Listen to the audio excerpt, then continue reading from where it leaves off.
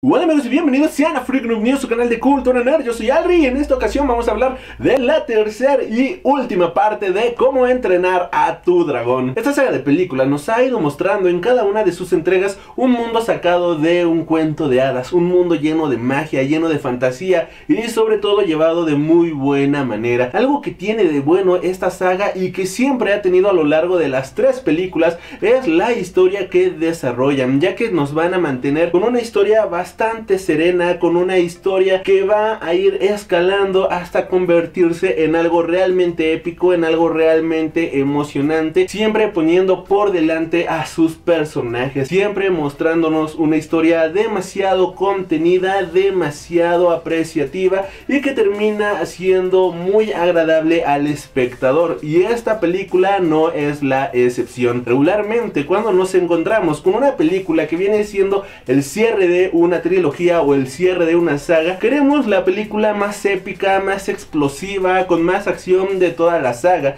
Y lo que hace de muy buena manera esta película es decir, no, vamos a ir conteniéndonos en la historia, vámonos a ir relajándonos, vamos a presentarte a los nuevos personajes, vamos a presentar el conflicto y las cosas se van a ir dando de manera natural. No hay por qué tener grandes explosiones a lo bruto ni dos horas llenas de acción cuando lo que se necesita es contar una buena historia y vaya que lo hacen en esta cinta. Cada uno de los personajes está en donde tiene que estar, cada uno de los personajes está muy bien desarrollado y sobre todo están llenos de carisma, están llenos de personalidad y aunque quizás llegan a caer en el chiste fácil algunos personajes, esta es una película para absolutamente todas las edades. Y este es un aspecto demasiado bueno de la cinta ya que es una cinta que pueden disfrutar tanto los niños de 3 años como un señor de 80 o 100 años. Es una película completamente disfrutable para absolutamente todos. Siento que la película funciona absolutamente a todas las escalas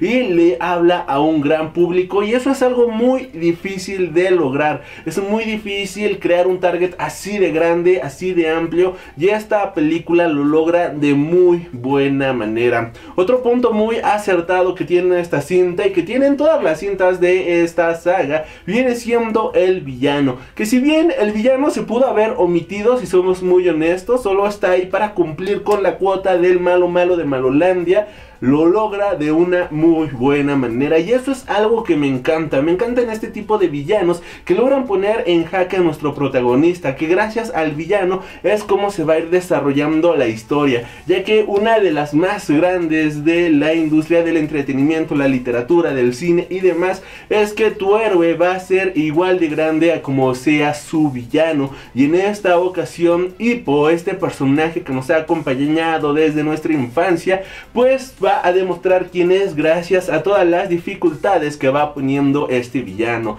Y esta historia va transcurriendo gracias al villano. La mayoría de las acciones se van desarrollando por cosas que genera este personaje completamente despreciable.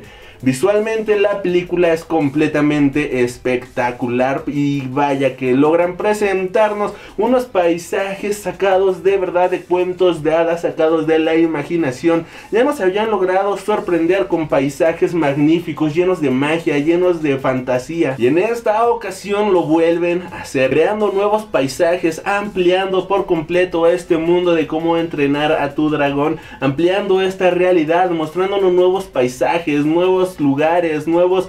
Ah, vaya, absolutamente todo está brutal. La, visualmente es algo completamente hermoso. Si tuviera que darle una calificación a esta película, le doy un muy buen merecido 9.7 sobre 10. Porque creo yo que es un excelente cierre de una trilogía. La historia es completamente buena. El cierre para los personajes es realmente hermoso. Y es muy difícil tener que decirle adiós a esta saga pero vaya que vale muchísimo la pena. Si tienen la oportunidad de verla este fin de semana, por favor no se la pierdan porque es una excelente película indiscutiblemente. Recuerda suscribirte al canal para más contenido cada semana y déjame en los comentarios a ti cómo se te hizo esta película. Yo soy Alri, nos estaremos reencontrando. Hasta la próxima.